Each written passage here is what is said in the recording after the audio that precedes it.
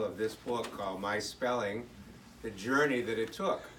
Uh, Six weeks ago, I found this book in a box in the basement of our home with a lot of other memorabilia, which is about 119 years old, some of this memorabilia. And this book I found called My Spelling, and I did not know where this came from, whose book it was.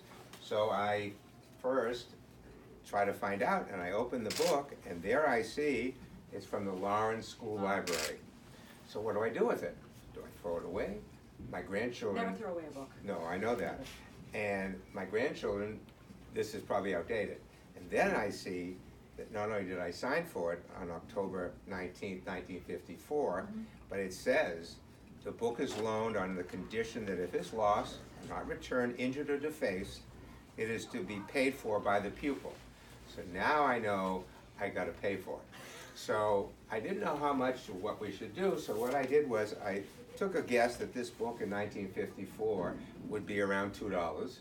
And then I Googled, which we didn't have in nineteen fifty-four, what would a two-dollar book be mm-hmm.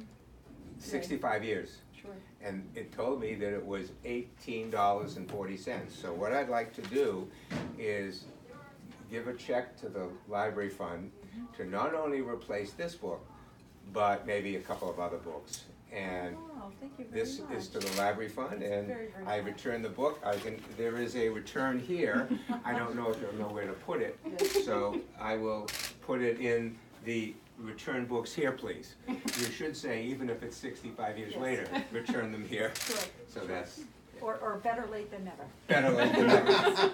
So I will give you this, and, Thank you. and I hope you accept my apologies for being a little late. Absolutely. Well, first, thank you very much. Thank you very much, That's and incredibly Thank kind you. of you. thank you, Yeah. okay. And um, clearly, like you shared earlier, um, Lawrence School instilled in you some very strong characteristics, one being return everything that you borrow. Right. And I think we shared earlier that our motto now is Lawrence Loyalty. That's it. So it. thank you for your continued loyalty to Thank you Lawrence very School. much, and I hope the check will buy some more books for the library. Absolutely, that's Right. wonderful. Thank Thank you you. so much. Thank you. Thank you.